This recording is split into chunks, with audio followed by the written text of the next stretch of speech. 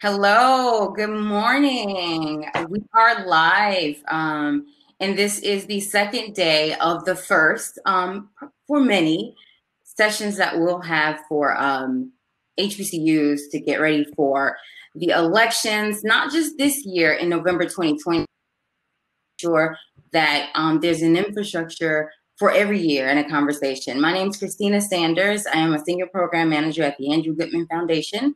And I won't take too long, but I have to acknowledge our amazing partners um, and um, our campus hosts, of course. Their team has been helping us figure out this platform, um, get the president involved, and you'll see a cool video soon about that also.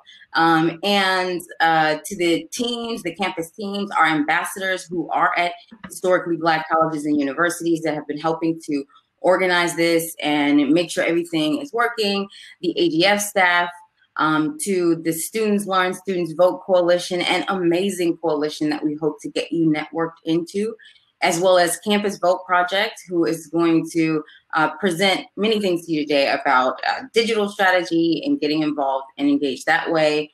Um, and then also to Facebook for giving us the resources to be able to um, produce and promote this event for you. And they will be here this afternoon to share a session about how to engage your campus on Instagram, which you love.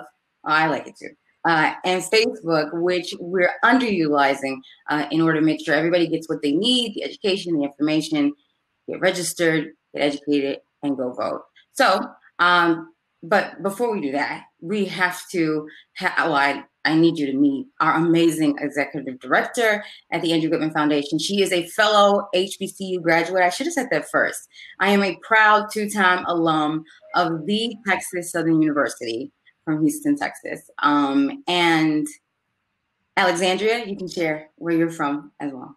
All right. Christina, thank you so much. I want to echo all the things that you just offered, but I want to thank you for everything you've done. You've worked tirelessly, and this wouldn't be possible without you. So, thank you to all of our co hosts and to all of our sponsors and all of our partners. As Christina said, I'm Alexandria Harris. I'm the executive director of the Andrew Goodman Foundation. And it's a great honor to participate in this summit today. As people who have attended an HBCU or who are currently attending an HBCU know, it's a very special experience. Shout out to Spelman College. The pride that we feel, the history that we know, the parties that we go to, the way that the financial aid office works, but most importantly, the feeling of family. And since I'm among family, I don't mind saying that we have a very steep hill to climb right now. Um, and right now, we're in the midst of a global pandemic.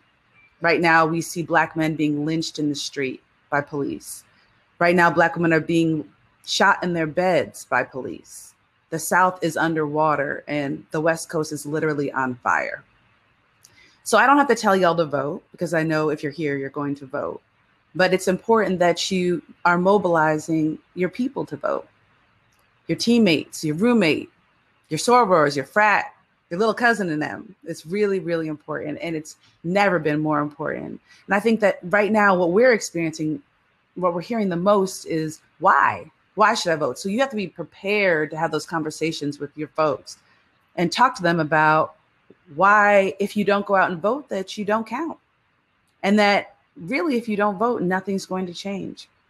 That the judges will be the same, the attorney generals will be the same, will continue to go to jail in mass numbers that the stand your ground laws will remain the same, the no knock search warrants will remain the same, and so on and so on and so on.